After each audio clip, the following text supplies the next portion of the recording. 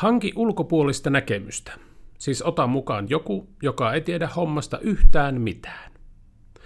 Itse olin tuossa hiljattain kahden päivän suunnittelutyöpajassa ulkopuolisena fasilitaattorina, eli suomeksi siis kallispalkkaisena käsien heiluttelijana.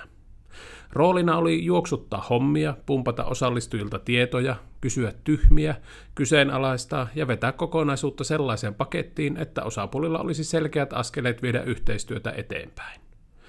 Siinä tuli aika nopeasti selväksi, että ulkopuolinen näki asiat eri tavalla ja samalla osallistujatkin kokivat aha-elämyksiä, kun joutuivat sanoittamaan heille niin sanotusti selvät asiat sellaiseen muotoon, että tyhmempikin fasilitaattori niistä jotain ymmärsi. Olen varma, että tuollainen ulkopuolisen tulokulma auttaa asian kuin asian suunnittelussa. Kokeile vaikka. Jos et halua kallispalkkaista käsien heiluttelijaa, ota mukaan vaikka puolisosi, äitisi tai se kuuluisa kummin kaimasi. Huomiseen!